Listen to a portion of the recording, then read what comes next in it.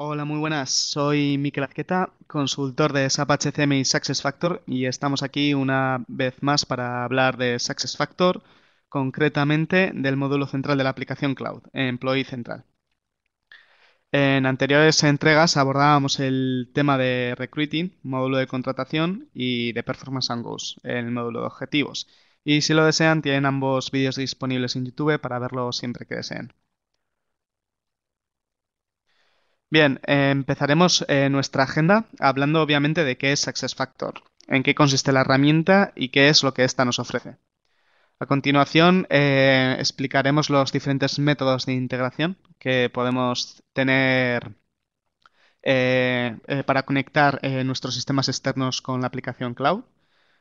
nos moveremos luego para explicar el futuro de HCM, es decir, qué va a pasar con el módulo de recursos humanos de SAP de cara a los próximos años.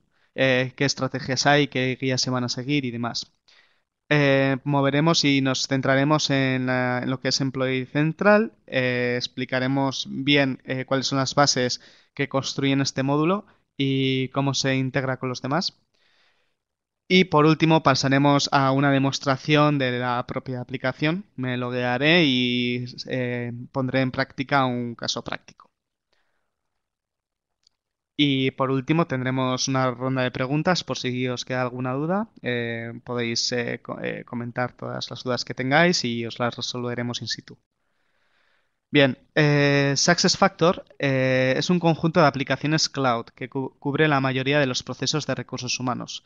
gestión de talentos, planificación de plantillas, selección, formación de empleados, informes, eh, también dispone del módulo de Employee Central, que es el que vamos a explicar hoy, y recoge, al igual que el módulo de SAP HCM del RP de toda la vida, pues los procesos de, tiempos, de gestión de la organización, de gestión de personal y demás. Eh, todas estas aplicaciones eh, cloud se integran entre ellas y se integran con Employee Central. Además, como voy a explicar ahora a continuación, veremos cómo se integran con el módulo SAP ERP de toda la vida. Eh, ¿De dónde surge SuccessFactor? Bien, SuccessFactor era una empresa californiana eh, que se fundó a principios de los 2000. Eh, surgió a raíz de dar respuesta a la necesidad que tenían muchas empresas para gestionar la fuerza de talento de sus empresas, de cómo gestionar eh, por ejemplo, los objetivos, eh, alinearlos a los objetivos de la empresa, eh, calificar el rendimiento de estos en base a su productividad o, a sus competencias y retribuirlos o incluso contratar y atraer nuevo personal externo para que se incorporase a nuestra empresa.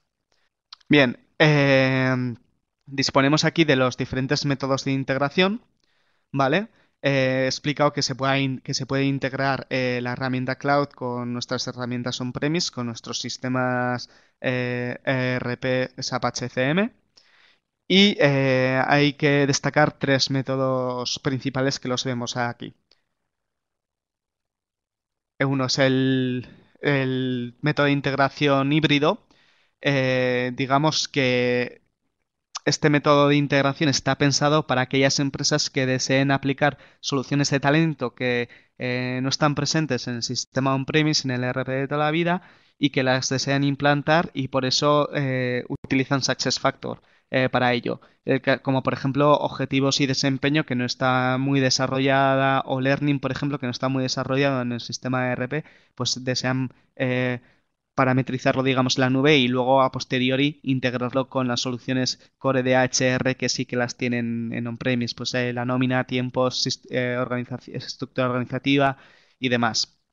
Eh, luego tenemos el método side by side de HCM.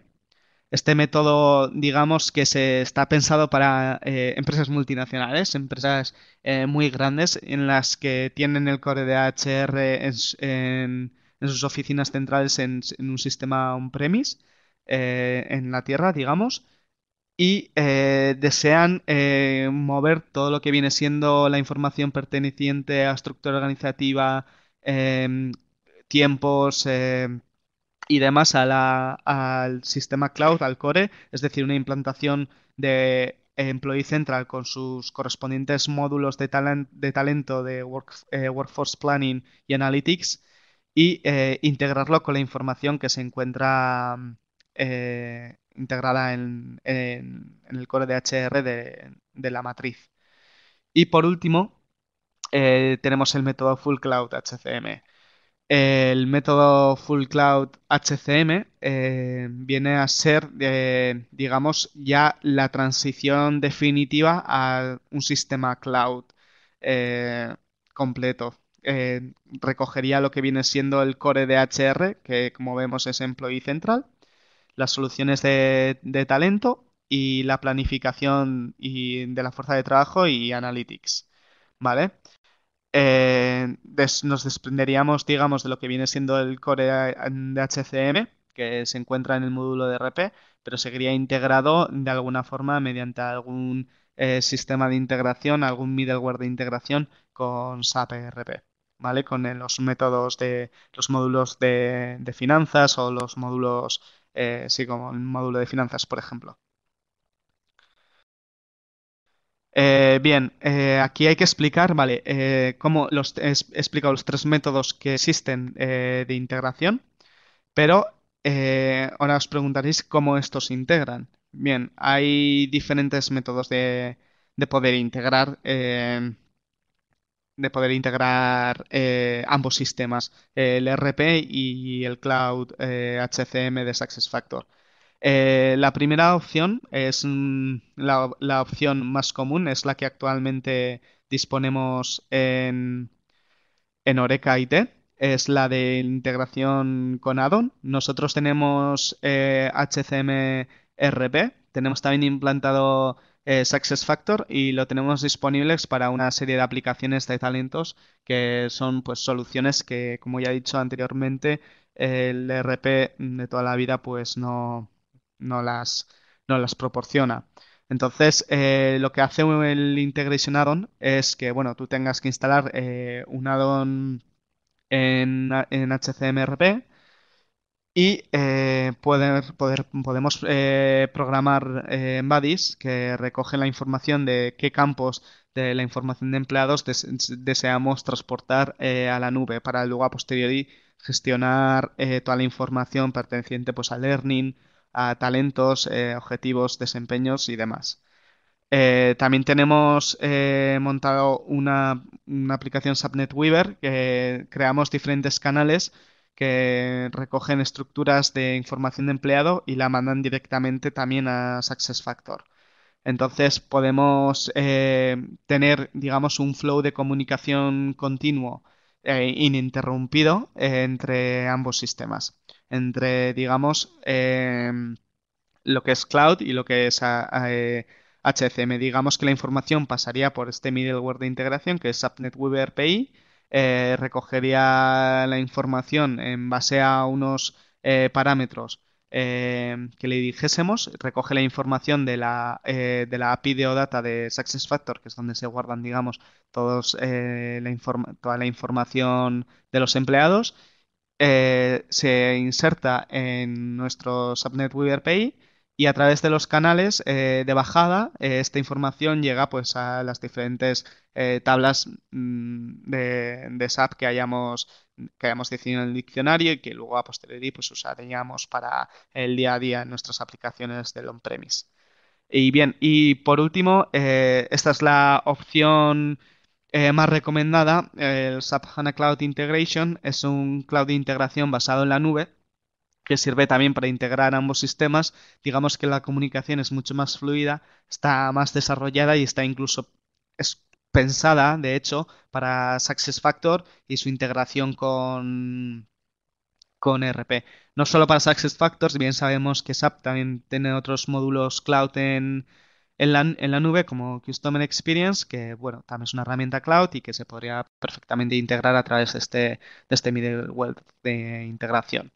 Entonces, eh, aquí podríamos definir, digamos, también como una especie de canales, recogeríamos información de, la, de las APIs de OData de Success y igualmente eh, las mandaríamos a SAP HCM. La comunicación es incluso más más inmediata y más rápida. Entonces, eh, lo que nos permite mayor fluidez y, flexibilidad a la hora de tener todo más orquestado. Bien, ahora me gustaría pasar a explicar eh, cuál es el futuro de HCM. ¿Vale? Este es un tema importante. Este es un tema importante porque es de lo que más se ha estado hablando con el tema de, Success Factor. Eh, a mí me gustaría arrojar algo de luz sobre este tema y yo creo que es eh, importante que, lo mencione en esta presentación, sobre todo cuando voy a hablar ahora de Employee Central. Eh, acabo de explicar cómo se integran los diferentes, eh, qué tipos de métodos de integración hay, cómo se integran, qué, formas hay, ¿no? De, mandar nuestra información de un sistema a otro. SAP esto obviamente lo contempla y ha diseñado un plan de estrategia para ello. digamos que esta es nuestra situación actual, ¿vale? Tenemos eh, nuestros sistemas on-premise, nuestro ERP de toda la vida. HCM está en la tierra, al igual que el resto de aplicaciones.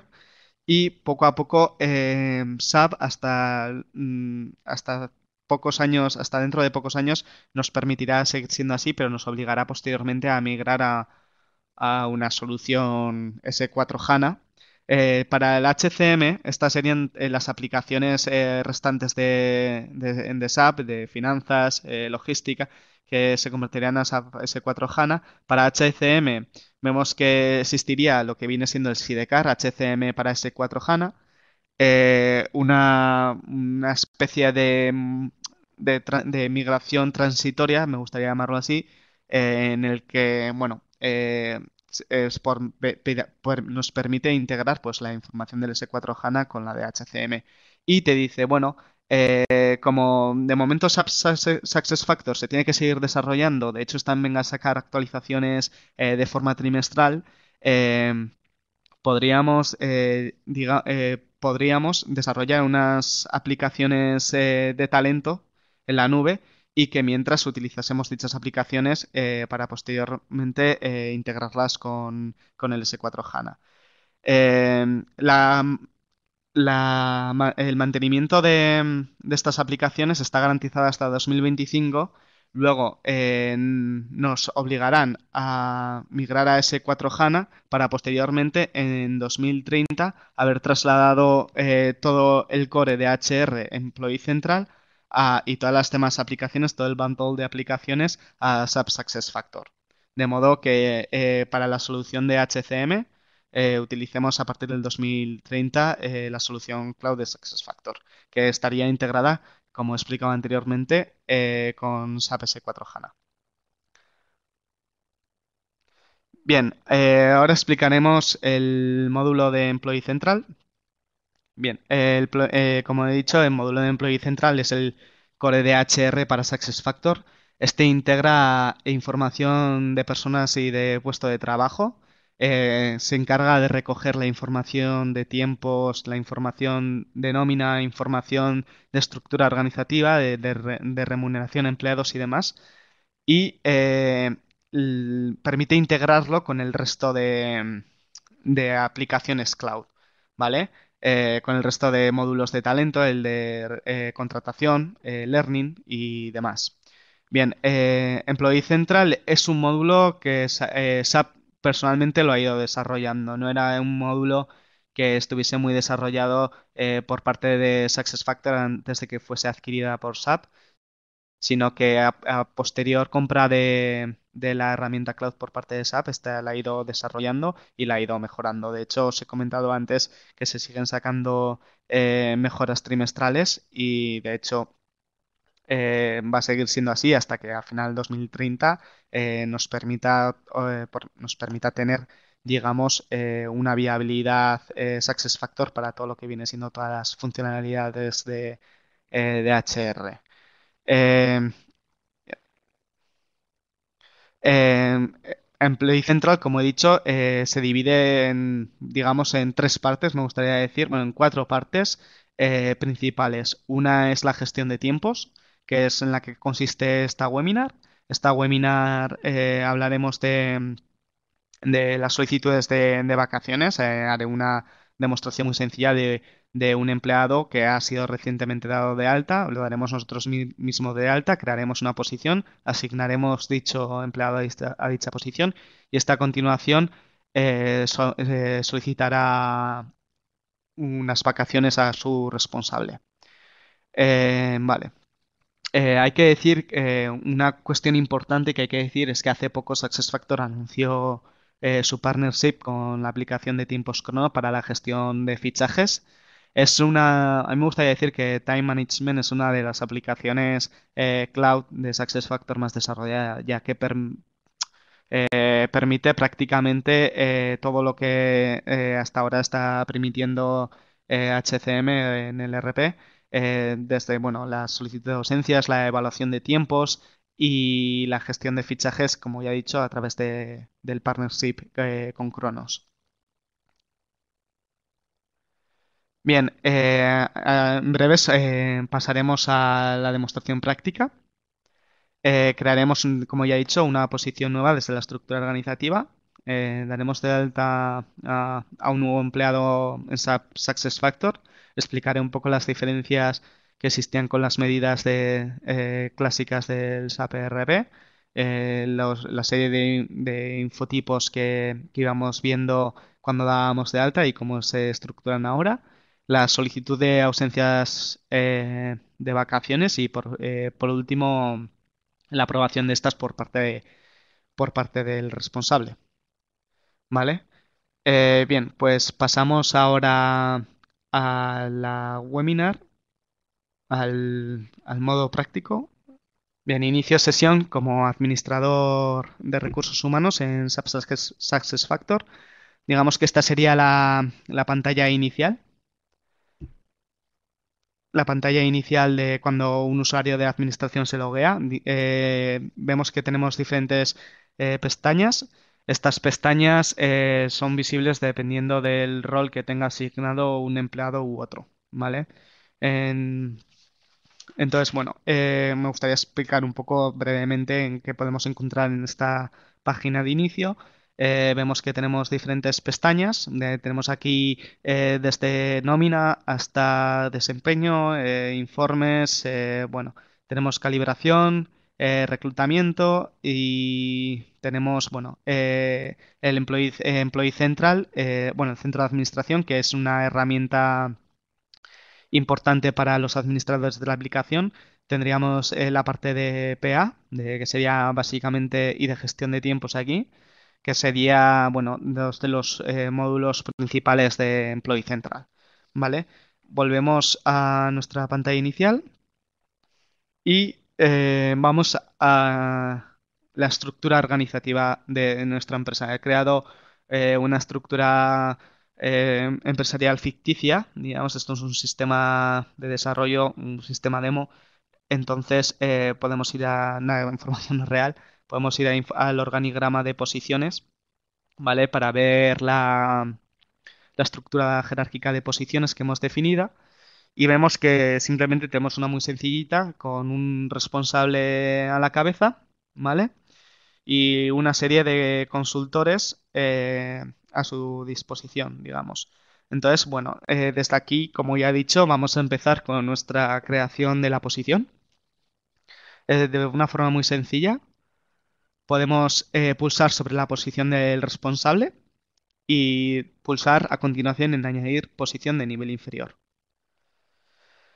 Eh, tenemos aquí para rellenar eh, diferentes campos. habrá algunos campos clave. Le asignamos un código aleatorio, un título de, de la posición. Queremos, bueno, poner rellenar unos campos eh, eh, clave.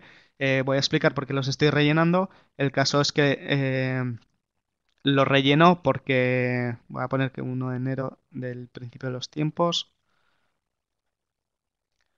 Bien, un código de puesto. Vale, eh, vamos a ponerle que es eso, consultor como sus compañeros, consultor de HCM. Tenemos aquí, digamos, todas las campos de estructura organizativa, ¿vale? Esto es lo que es, es como, eh, cómo se organiza, digamos, nuestra empresa. una categoría del puesto, no tenemos ninguna. eh, bueno, estos campos eh, se configuran en- desde el centro de administradores, entonces eh, decir que al principio pues no, tenemos ningún dato hasta que nosotros hayamos eh, migrado toda la información de, SAP RPHCM desde nuestros, eh, desde nuestros sistemas.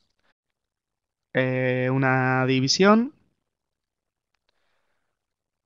un departamento Una ubicación, esto es importante porque va a ser, esta va a estar ligada a los calendarios de, de los empleados para la solicitud de vacaciones. Luego veremos que en base a la ciudad a la que este pertenezca eh, tendrá mm, una- un calendario u otro. Eh, Pamplona tiene unos festivos, Vitoria tiene otros festivos y estos van a ser relevantes a la hora de, de solicitarlas. Entonces, bueno, eh, también seleccionamos un centro de coste y le damos a guardar. Bien, ya se nos ha creado la posición. Podemos eh, revisar todos los campos que hemos introducido y los he introducido ahora porque eh, cuando demos de alta a nuestros empleados eh, veremos que al seleccionar la posición estos se heredan. Estos se heredan a través de una business rule, que es una regla de negocio de propagación que lo que hace es eso, transmitir los campos de de lo que es la posición al empleado cuando le demos de alta.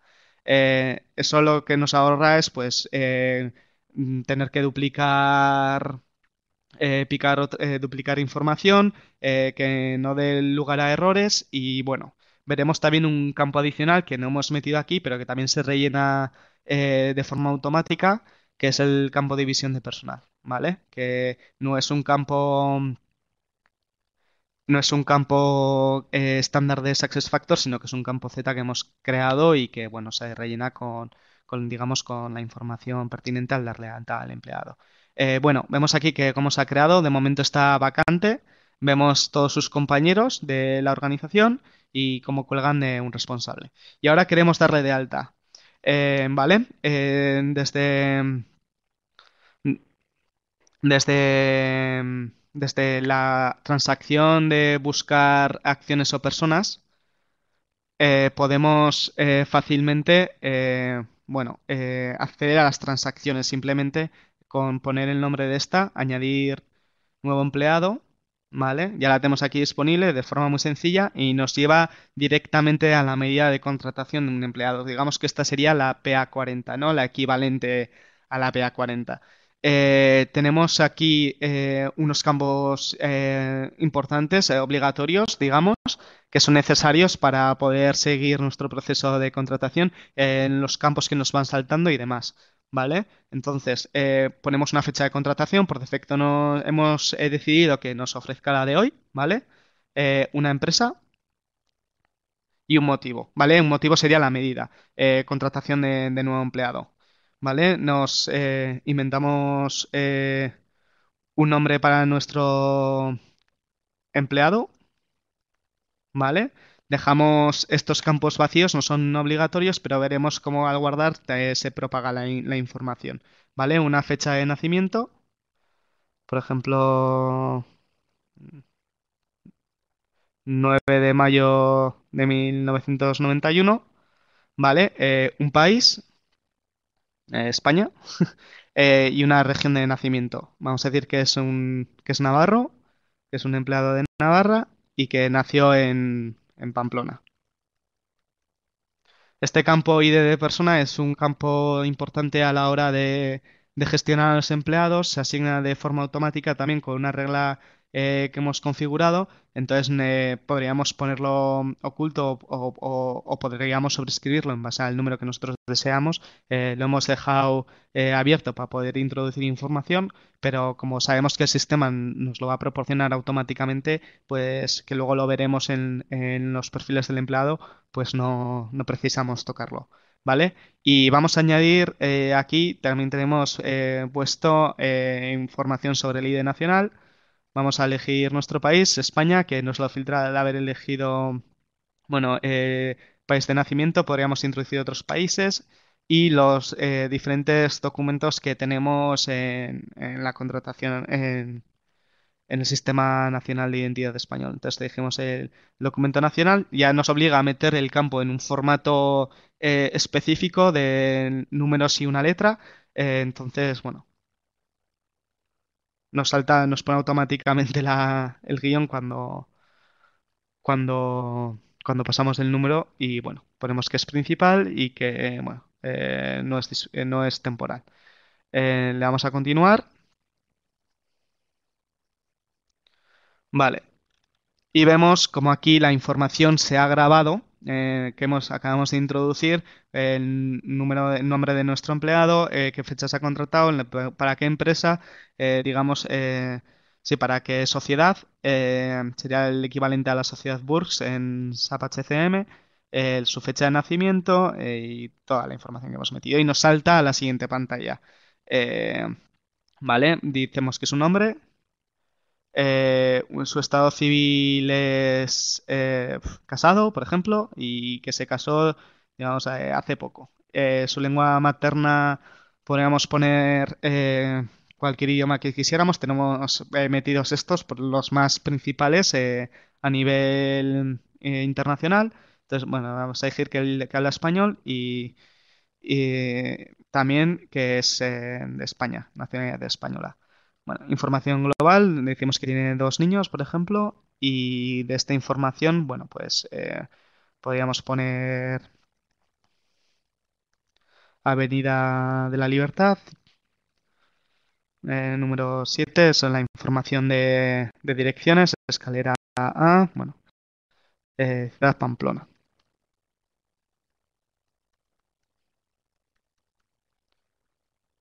Vale. Eh, vamos a continuar, ya que el resto de información de campos no son, no son obligatorios. Y bien, tenemos ya aquí, eh, otra vez que hemos eh, metido la información, nos sale un tick verde, como que está correcto, podríamos editarla aquí en todo momento. Y ahora elegimos la posición. Esta es la información del puesto, nos salta el siguiente, digamos, infotipo, por así decirlo. No los llamaríamos infotipos porque son cosas de. no, no es lo mismo que en RP, pero bueno, y nos da, nos da el desplegable de las posiciones, a la posición a la que, va a pertenecer este, este empleado. Eh, era la posición 11. Bien, y al elegirla vemos cómo hemos heredado toda la información que previamente eh, hemos metido. Hemos bloqueado eh, los campos para que no se puedan editar, vemos que aparecen en color grisáceo y vemos que hay un campo que he mencionado antes que es el de división de personal, que no aparecía en el objeto de posición, podríamos haberlo metido ahí, pero hemos decidido que no. Y veremos como eh, también no se puede editar, pero que se rellenará de forma automáticamente cuando se dé de alta al empleado, es verdad, cuando digamos eh, guardar. También nos propone quién es el supervisor para que no tuviésemos que buscarlo. Eh, nos lo propone a través de la regla el nombre y bueno, decir que esto, pues eso, podemos meter aquí los campus que queramos, eh, organizarlos de la forma que eh, consideramos precisa y demás. Vale, eh, seguimos metiendo información y bueno, información de tiempo. vale, esta información es importante para el caso práctico que vamos a desarrollar. Hemos dicho que íbamos a solicitar también a posteriori las vacaciones de este empleado. Entonces, bueno, pues elegimos el calendario de festivos, eh, Pamplona, eh, un horario de, trabajo, ¿vale? Tenemos aquí configurados. Eh, si tuviésemos dudas de cuál elegir, podríamos pulsar detalles y lo veríamos aquí, digamos, el horario que, que, le asignamos. Los detalles, cuántas horas al día tiene que trabajar, bueno, media de horas al día, la semana y demás, ¿vale? Podríamos elegir un perfil de tiempo. Mm, vale, vamos a poner el que hemos pensado para esta webinar, vacaciones anuales. Eh, perfil de registro de tiempo. Eh, esto sería para las evaluaciones de tiempos. Eh, para creamos tipos de cuentas de tiempos que recogen los periodos de acumulación de, digamos, de trabajo del empleado, ¿no? Que luego se influirán en la nómina y demás. Entonces, eh, para esto sirven estos, estos campos. Por ejemplo, diríamos que eh, tiene una, imputación positiva de, tiempos que este empleado va a fichar y demás. Bueno, tenemos un, un rollout de, también de, para las, eh, lo que dura, digamos, la, el proceso de, evaluación de tiempos y vamos a poner aquí que la variante de registro de tiempo, las que tengamos configuradas, pues tenemos dos, eh, duración y contabilidad de tiempos, contabilización de tiempos, pues vamos a poner duración. Y eh, ya esto ya también nos lo rellena automáticamente lo de antigüedad, con lo que no es eh, preciso que, que, lo vamos a meter. Entonces, pues le damos a continuar. Y por último, nos salta el último infotipo, eh, información de compensación, eh, información que va a aparecer en nómina, que es relevante para controlar los procesos de nómina de Employee Central Payroll. Eh, esta webinar no va centrado en, remuneración, lo dejaremos para mm, nómina, o presentaciones webinars posteriores, pero digamos que podríamos meter aquí toda la información que consideramos oportuna. Así que le vamos a continuar. Bien, y ya está. Eh, nos dice, nos da un de que la contratación para Anso García será el 10 del 10 del 2019. Eh, podríamos, em, em, añadir a otro empleado, seguir con los procesos de contratación, eh, ver el perfil de Anso. Si hubiésemos guardado el proceso a mitad de camino, podríamos haberlo retomado a posteriori. O sea que podemos nos da bastante libertad a la hora, es bastante sencillo a la hora de contratar. Y bien, eh, aquí accedemos ya directamente al perfil de Anso, ¿vale? Eh, vemos, eh, bueno, digamos que esto sería los infotipos organizados por portlets, en Employee Central se llaman portlets, y recogen la información pues, que nosotros hemos ido metiendo, incluso información adicional recordáis el número de persona, el ID de persona, que no lo hemos asignado porque el sistema ya nos lo proporciona de, eh, forma secuencial y bueno, no haría falta eh, escribirlo. Eh, vemos que estos bueno, son de fecha efectivas cuando eh, editamos la información del puesto, por ejemplo, el sistema nos propone que introduzcamos una fecha que es a partir de la cual queremos que surjan los cambios, es decir, a partir del cual se van a eh, crear los cortes, ¿vale? Vemos en plan la antigüedad eh, que lleva esta persona en la empresa, un día lo acabamos de contratar, ¿vale? Y bueno, el campo de división de personal, como he comentado antes, no se podía editar porque se rellenaba automáticamente y decimos que este pertenece a la división PMP. Hemos creado una regla que en base a unos campos que nosotros introduzcamos, pues nos proponga eh, una división u otra. Entonces, como ha leído la estructura organizativa, el sistema, pues dice, pues este empleado pertenece a esta división de personal. Por lo tanto, es un campo que nos ahorramos de, rellenar y de cometer errores. Podríamos volver a editar toda la información y como no queremos hacer eso, le damos a cancelar. Bien. Em, Ahora a continuación eh, lo que vamos a hacer es, eh, esta persona ha entrado en eh, la empresa, ¿vale? Vamos a iniciar sustitución. iniciar sustitución es una herramienta que nos proporciona Success Factor para actuar en representación de una persona, siempre y cuando tengamos ese permiso asignado. En vez de tener que loguearnos, salir del cerro sesión y volvernos a loguear, eh, podemos iniciar sustitución sin tener que cambiar de, usuario todo el rato, siempre y cuando, ya lo he dicho, tengamos permisos. Por defecto, los empleados que en este sistema de desarrollo eh, tiene, ves que en la pantalla es diferente, tiene unos permisos totales prácticamente cuando se les da, porque en un sistema de desarrollo no nos importa mucho el tema de autorizaciones, pero también decir que se podría, bueno, de forma automática asignar unos determinados permisos y, roles cuando se da de alta un empleado. ¿Vale? Eh, tenemos aquí la gestión de tiempos libres, ¿vale? Que es, eh, el, bueno, eh, el saldo que tiene disponible que hemos calculado como un derecho básico, ¿vale? Cuando el empleado se le da de alta. la regla es muy sencilla, es una regla totalmente inventada. Hemos cogido el mes en el que se le da de alta, octubre en este caso, eh, la diferencia entre meses hasta final de año y la hemos multiplicado por un factor 8 para, para, bueno, para tener una bolsa de horas considerable con la que hacer pruebas, manejar y ver el sistema si funciona correctamente y demás. ¿Vale? También eh, recordar que tenemos, le habíamos asignado a este mm, empleado eh, tiempo, un calendario específico, el de el de, el de Pamplona, por eso tiene eh, patrón de Pamplona San Saturnino. el 29 de noviembre es fiesta. Si fuese un empleado de Vitoria, pues obviamente ese, ese, festivo no aparecería. Y bueno, la fiesta nacional de, España, que sería común a los dos.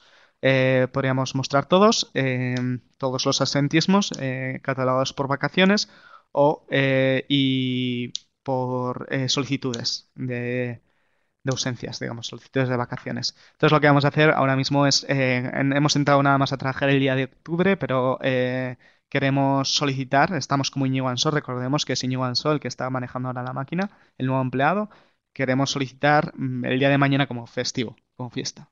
¿Vale? Entonces, eh, de forma muy sencilla, le damos a nueva ausencia y elegimos el día 11 de octubre, ¿vale? Eh, por 7 horas, porque el horario los viernes eh, no son 8 horas y media, son 7. Y bueno, podríamos añadir un comentario, una hora inicial para que solo nos contase pues eh, unas horas de, ese día. Vamos a solicitar el día entero y le vamos a dar a enviar. Podemos controlar la, la apariencia de mensajes dice su solicitud eh, de tiempo libre se ha guardado eh, al sistema y se la ha enviado a Johnny Bien. Es un mensaje pues que eh, se pueden configurar, se pueden, pueden aparecer los que nosotros deseamos. Y bueno, hemos configurado el, un workflow por el cual ahora, pues eso, la solicitud le llega al responsable. Podríamos configurar el workflow de, de manera diferente para que fuese a otra persona. Y bueno, cuando llega la solicitud eh, se le llega el mensaje del Outlook, es porque está integrado con una aplicación de, mensajes del correo electrónico, le llegaría un, correo a la, a la, bandeja de entrada. Eh, Iñigo Ansó eh, García, pues aprobación de vacaciones pendientes. había puesto al, responsable mi correo y que me llegue automáticamente a la la bandeja de eliminados, pero bueno, eh, podríamos eso ver que Íñigo ha solicitado la aprobación de sus días de vacaciones. Volvemos al sistema. Y bien, eh, ahora iniciamos sustitución como Johnny Davien, que es el responsable de Íñigo.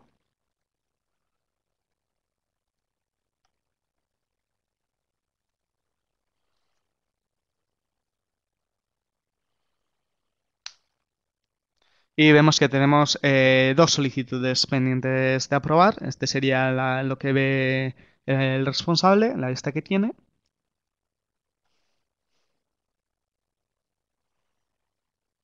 Bien, teníamos otro empleado que había solicitado, que nunca las ha aprobado, pero bueno, sigue, sigue ahí pendiente. Era un empleado de prueba también. Le damos a, la solicitud de Iñigo y bien, eh, tenemos eh, pues el número de, días, el número de horas, la cantidad de, deducción, o sea, lo que nos resta.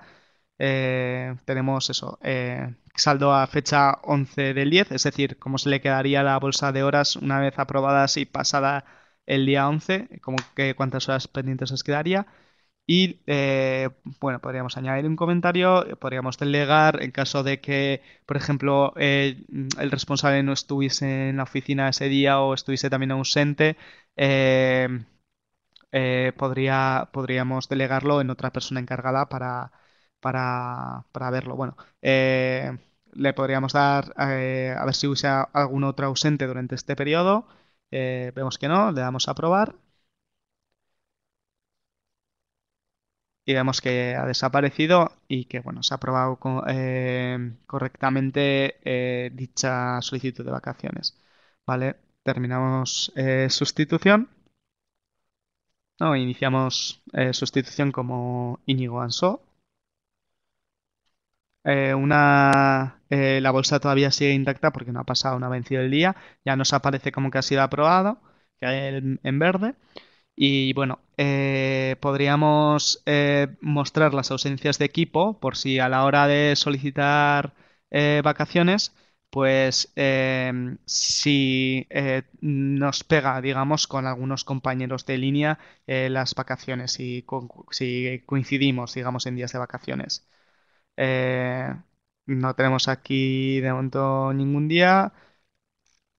Eh, bueno, por ejemplo, Borja Luque vemos que solicitó una vacación el, el día 19 de agosto y eso podríamos, pues, eh, para eh, líneas de negocio en la que no se puede permitir que todos los empleados estén de vacaciones, pues que haya, eh, digamos, conflictos, ¿no? A la hora de solicitar vacaciones. Y bien, eh, podríamos también acceder ahora otra vez, accedemos al perfil del empleado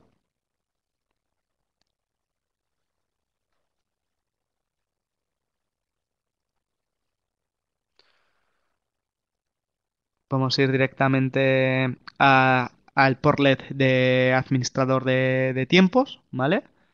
O podríamos ir directamente a, otra vez a la aplicación de solicitud de tiempos y vemos eh, pues los registros que ha habido, ¿vale? Qué estatus está, cuánto tiempo se ha tomado, las cuentas de tiempo.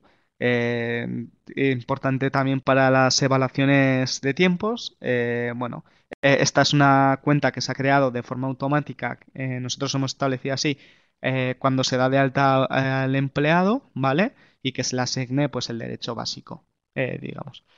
Y pues bueno, el horario de trabajo, eh, que podemos añadirle un cambio temporal, en cambio de que pase a tener otro horario, eh, alertas de tiempo, colectores y, bueno, eh, básicamente eh, estoy mucho, muchas cosas más. Hemos solo visto una pequeña parte de la organización de tiempos en SuccessFactor.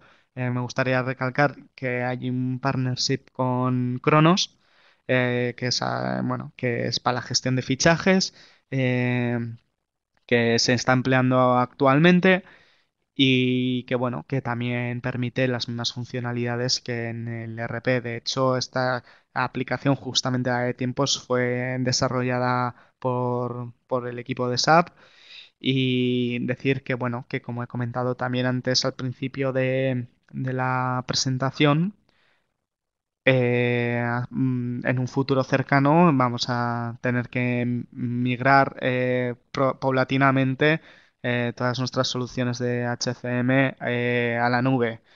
El tema de la nómina es uno de los temas más complejos para migrar, sería ya casi de lo último, entonces por eso tenemos eh, unos márgenes de tiempo muy amplios para poder ir migrando poco a poco, empezando por las soluciones de talento, pasando poco a poco hacia el core, eh, tiempos, eh, estructura organizativa, gestión de personal y demás, hasta finalmente eh, que para 2030 se espera tener toda la nómina, toda la gestión de esta, el cálculo y demás con un motor de nómina propio en la nube.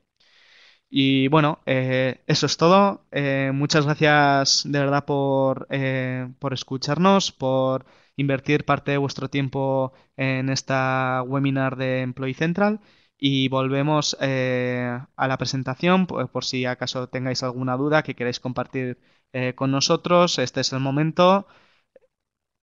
Eh, bien, podríamos, bueno, si tuviésemos pocos calendarios de, fe- de festivos, en este caso teníamos dos, podemos hacerlo desde el centro de administradores.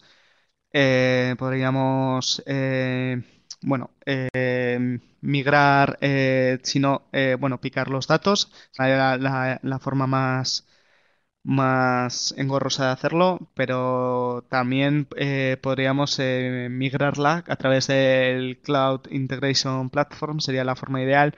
Ya tiene mm, de serie por defecto eh, entities de integración SuccessFactor configuradas, bueno, SAP, mejor dicho, eh, a través del Cloud Platform eh, Integration para mover toda esta información de la PT01 y de otras transacciones estándar de, SAP, donde se guardan los calendarios para SuccessFactor.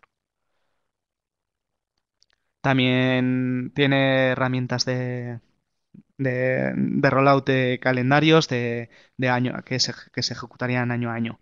Eh, digamos que hasta SuccessFactor tiene su propia PT01, que no la he enseñado por una herramienta de transacción de administradores, de consultores, pero que también es igual, básicamente.